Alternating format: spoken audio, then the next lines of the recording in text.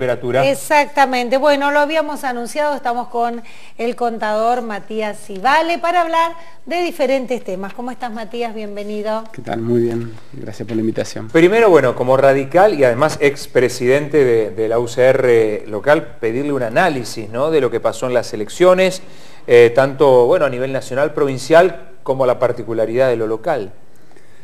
Bueno, primero que nada me parece eh, que, debiéramos hacer, o por lo menos yo debiera hacer un análisis más local, que es donde uno tiene mayor incumbencia y donde la participación que cada uno de nosotros tiene, tiene mayor influencia. Desde ese lugar, obviamente que primero una alegría enorme por, por un nuevo acompañamiento a a la propuesta electoral que, llevábamos desde el radicalismo, en este caso desde Juntos por el Cambio, y que ratifica por cuatro años más eh, el liderazgo de, Miguel Lungui para, para, toda la ciudad, que era una elección importante, primero porque era la última de Miguel como candidato, eh, a partir de la limitación que establece la ley, eh, segundo porque estábamos eligiendo el Tandil del Bicentenario, y más allá de que por ahí parece una cuestión anecdótica el hecho de los 200 años, desde lo simbólico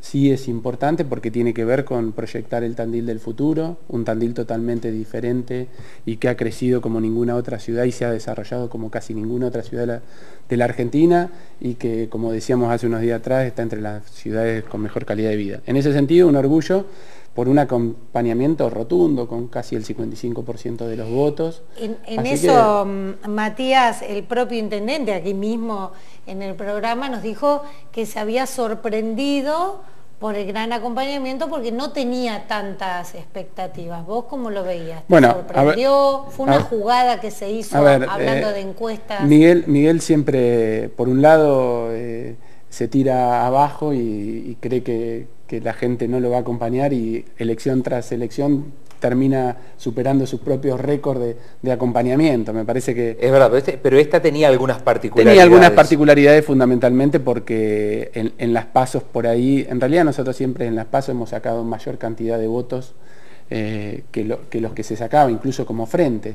Nosotros creíamos que esa situación se iba a dar y más allá de las particularidades confiábamos en que eh, una gestión como la que veníamos teniendo, ratificada en, todas las encuestas en cuanto a la imagen positiva que tiene la gestión, se iba a traducir en voto, que fue lo que terminó sucediendo. Entonces, bueno, sí sorpresa eh, en ese sentido porque había cierta incertidumbre, fundamentalmente puesta por la oposición, en este caso por el Frente, por, el kirchnerismo, que planteaba que era una elección en la cual se estaba menos de 2.000 votos.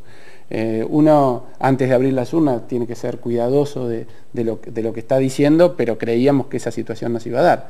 Por suerte ratificó una diferencia de más de 16 puntos, así que la verdad que, muy contento y obviamente, como ha planteado el intendente, más allá de, que un triunfo, incluso tan rotundo, eh, más que de derechos, da obligaciones de cara a, lo que se viene, de cumplir con lo que, que se ha planteado en la, en la campaña y obviamente en una coyuntura eh, política económica del país en general bastante complicada y lo cual a quienes tenemos la responsabilidad de, de gestionar determinados ámbitos nos pone con mayor responsabilidad en acompañar a todos los, a todos los tandilenses en este caso, que muchos de ellos no la están pasando bien.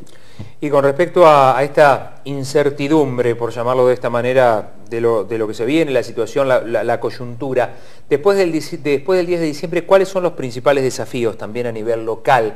Pensando, obviamente, en la gobernabilidad, pensando en el partido, pensando en Juntos por el Cambio y pensando en lo que puede ocurrir de acá a cuatro años.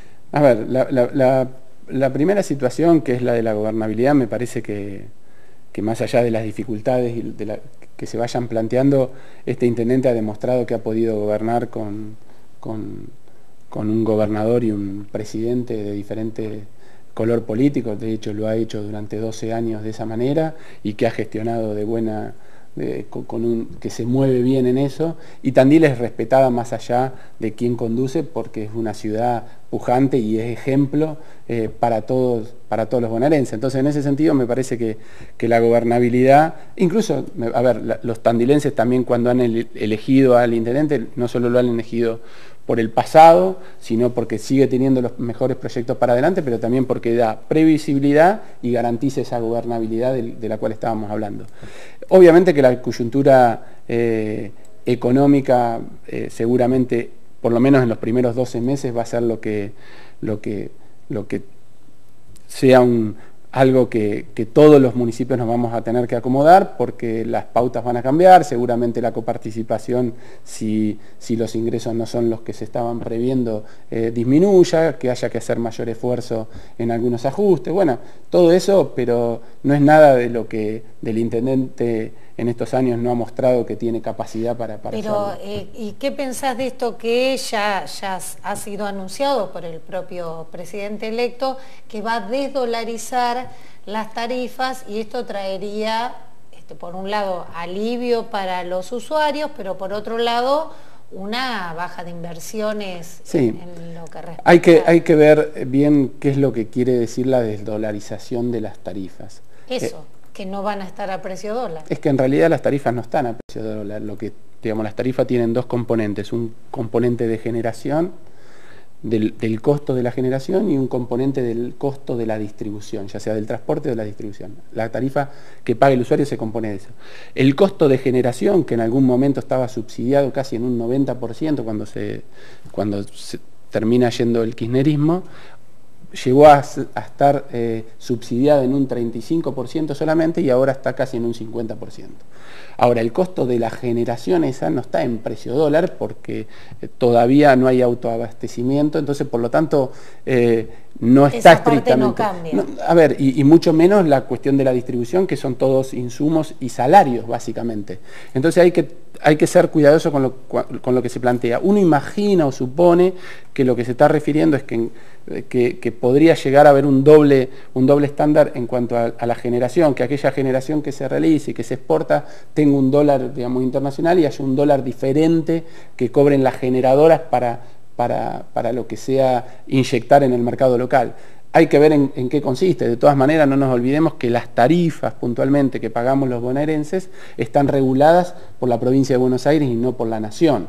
Entonces, me parece que todavía hay un recorrido por hacer, hay un marco eh, normativo eh, y, de tarifario integral que tiene la próxima modificación en el mes de febrero, o sea, impacto a partir del mes de enero con las facturas del mes de febrero, que tienen un impacto del 25% de incremento, que está firmado, ahora ha planteado el próximo gobernador que, va a evaluar esa situación, pero bueno, uno tiene que ser cuidadoso, hay bastante incertidumbre porque todo esto trae aparejado, quita en las inversiones, obviamente. Ayer escuchábamos que uno de los mayores proyectos eólicos de la, Argentina, dos proyectos concretamente en, Chubut, eh, habían frenado y habían despedido porque por esta situación por esta situación de incertidumbre. Entonces, eh, eh, difíciles, yo creo que las medidas se van a, se van a plasmar a partir del 10 de diciembre. Después podemos hacer análisis de lo de lo que cree uno que puede suceder, pero nada en concreto. No, no, yo te preguntaba porque son anuncios que hizo el sí, pero habló desde desdolarización sin nada concreto. Digo, cuando uno tiene que hablar de tarifa, tiene que decir si la tarifa va a estar congelada y, va a haber una especie de plan de convergencia, que es decir, lo mismo que sucedió hace cuatro años, que lo que no se da por tarifa se da por subsidio a las distribuidoras y a los generadores, o se subsidia directamente, como hace un planteo eh, también eh, quien va a manejar seguramente Daniel Arroyo la parte social, que el subsidio en en el caso de los servicios tiene que ir directamente al usuario a través de otro, por otro lado. Bueno, todo esto está arriba de la mesa. Hoy concretamente no hay nada más que lo que está firmado, que es un incremento a partir del mes de febrero, que no tiene que ver con el incremento del dólar, sino el crecimiento inflacionario y el incremento salarial. Eh, ¿Cómo podría afectar a la usina en caso de que efectivamente ese 25% que está acordado para febrero no se dé? Que sería obviamente muy bueno para los usuarios eh, en principio, pero no así para la usina. No, no digo para la usina, digo para el, para el sector en general. En realidad esto es una, digamos, un congelamiento de las tarifas en, estos últimos ocho meses y esto está recomponiendo parte de eso. Si no se da, seguramente eh, la provincia, porque esto casi todo eso, ese incremento obedece a acuerdos salariales ya firmados, tendrá que ver cómo responde ante esa situación. No es el caso puntual de la usina, sino de todas las distribuidoras de, la provincia de Buenos Aires al menos. Correcto. Eh, vamos a seguir charlando en el próximo bloque con el contador Matías Ibale. Vamos a ver cómo, va, cómo marcha eh, el parque solar ahí de Desvío Aguirre. ¿eh? ¿Cómo está? que iba, iba muy bien. Y algunas otras cuestiones que tienen que ver con lo local también. Exactamente. Ah, antes de irnos a la pausa, tenemos captura. Seguimos charlando con el contador Matías Ibale, presidente de la usina. Eh, Matías, ¿cuál es la situación eh, con las empresas, especialmente las pymes, que dentro de todo lo que, bueno, complica el tema del pago de la luz no es menor, atento a los últimos aumentos que fueron importantes, que ahora quizás se quedaron en el tiempo, pero de lo que se venía pagando con la tarifa subsidiada a lo de hoy cambió mucho la realidad. ¿Cómo está esta cuestión? ¿Qué es lo que perciben ustedes en la usina? Bueno, primero que hay, ha habido una, en algún caso una caída en el consumo, en todo momento que hay una, recesión en la economía en general, eh, los principales insumos, eh, fundamentalmente en, la industria, que puede ser el gas o la luz, se resienten, entonces hay, una, hay una, pequeña caída. En el caso nuestro, más que una pequeña caída, hay un no crecimiento, que es lo que se viene dando en, eh, desde hace unos años había un crecimiento en el, consumo. Eh, la ventaja que, en parte... ¿Eso es por no poder pagar? No, no, no, me refiero al consumo, me, refiero al consumo en general. ¿O porque uno lo cuida más?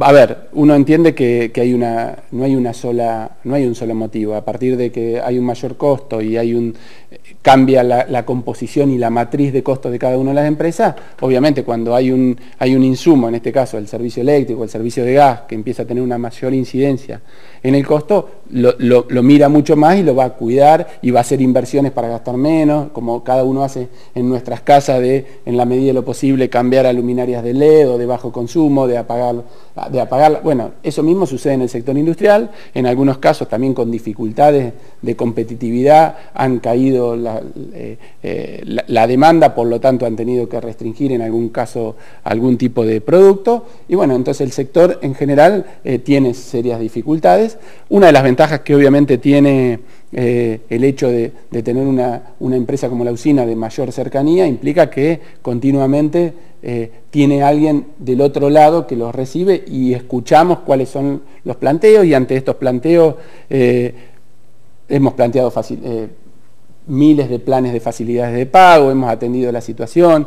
Yo contaba fuera del corte en algún caso particular de alguna de las empresas que hoy están teniendo dificultades, hemos, han tenido que ir a pagar, han pedido ir a pagar hasta un domingo para evitar tener que, ir un corte y, nosotros lo hemos atendido y cuando era, no quedaba otra que el corte, hemos vuelto a volver a, nos volvimos a reunir y hemos eh, generado un plan de pagos diferente y así con cada uno, con cada una de las situaciones que Digo, si uno agarraba el diario del ECO y veía una de las empresas que esta tenía dificultades, decía, bueno, que la usina, más allá de ser una empresa que estaba en, un concurso, eh, en la usina lo habían eh, atendido de una manera y que no habían podido lograr lo mismo en Camusi. Bueno, esta es la ventaja y uno trata de adaptar ante esa situación, eh, primero porque la composición de la, empresa, de la, usina, más allá de ser una sociedad que se, se regula como una sociedad anónima, tiene un componente accionario de empresarios por la parte privada y una pata estatal que todo esto lo, atendemos a mirar. También está en la responsabilidad nuestra cuidar el patrimonio de todos los tandilenses. Ante ese equilibrio que hay que mantener, perdón Ceci, eh, la usina no debería haber tenido, no habría podido tener eh, una participación más activa en la flexibilización, vos decís que lo han hecho, pero eh, sobre todo con pymes muy complicadas, muchas que han terminado cerrando, no, solamente por la factura de la usina, pero no tendría que haber tenido desde la faz política eh, pública eh, más flexibilidad a la hora de brindarle facilidades a las empresas? Bueno, a ver, es una lectura que podés hacer. Nosotros creemos que las hemos hecho y Todas las que están al alcance de una distribuidora se han hecho, todas. Y más también, en algunos casos, eh, puntualmente hemos gestionado en algunos sectores nosotros alguna vía de subsidio eh, nacionales, eh, producto de estos incrementos, que así la han recibido. Muchas de la metalmecánica el año pasado han recibido subsidio a partir de gestiones que hemos ido acompañando nosotros. Al sector turístico, cuando, cuando se hizo un planteo, el sector de las cabañas, también le hemos planteado. Ahora, la realidad es que también, por ejemplo, en el sector turístico, que tuvimos una reunión con el intendente, le hemos planteado, bueno, traigan aquí la matriz de, de cuánto es el componente eléctrico en, en, el total de costos y muchas veces no llega ni al 5%. Entendemos que ahora ha tomado valor, pero bueno, depende el sector, el sector puntualmente. Eh, y lo, atendemos con todas las herramientas que están a nuestro mano, hoy decíamos en el bloque anterior, teniendo en cuenta que la tarifa está regulada a nivel provincial y que el componente más grande en realidad eh, es un 50% del costo de generación que se paga actúas de pasamano y tiene un 30% de componente impositivo, que también en este caso la usina hace de pasamano. Entonces, el margen en las distribuidoras puntualmente es pequeño. Más allá de ser pequeño, todas las posibilidades que se tienen se están al alcance de, todos los usuarios que vienen, se sientan, las puertas de la, de la, usina siempre están abiertas y hemos mantenido diálogo con casi todos los empresarios. de tenerlo en la ciudad. Rapidito, ¿qué pasó con las empresas que habían tenido un inconveniente con la usina, con el tema de los medidores? ¿Se solucionó? ¿Quedó ya todo...? Está a, notificar por parte del organismo de Contralor, en, un solo caso que eh, pero hay un proceso administrativo y hay un proceso judicial que está en marcha con una de esas empresas nada más. Bien. Y bueno, después ya para terminar este, el tema del parque solar, ¿cómo está? Bien, eh, está, eh, calculo que en los próximos 15, 20 días ya estamos en proceso de prueba, eh, vamos a estar inyectando en la red, o sea que eh, así que estamos no solo terminando ¿Ya con en 15, 20 días? Sí, sí. En realidad la ventaja que tiene un parque solar es que es de, de rápida implementación. Ustedes lo vieron. Hicimos el anuncio de los primeros movimientos de suelo hace menos de seis meses y hoy eh, ya tenemos un parque. Que además va a tener una gran ventaja por la cercanía de que todos los, todas las escuelas cuando o todos los colegios que lo pretendan y quieran recorrer el lugar puedan puedan tener un fácil para mostrarlos y para concientizar ese era uno de los objetivos que no es peligroso digamos no, tiene no no, eh, es de fácil mantenimiento también, entonces bueno, tiene muchas ventajas. Esperemos que, hoy lo charlábamos en el anterior bloque, que las decisiones que se toman a nivel nacional eh, respecto a, la matriz energética no hagan que tengamos que retroceder un tiempo. Creo que hemos ido, avanzando en esto de, hacer inversiones en energías limpias y que esto, eh, las decisiones que se toman no, no, nos vuelvan para atrás eh, unos cuantos años. Matías, muchísimas gracias por molestarte hasta acá como siempre. No, gracias a usted. Matías Ibale, charlando con nosotros, presidente de la usina. Antes de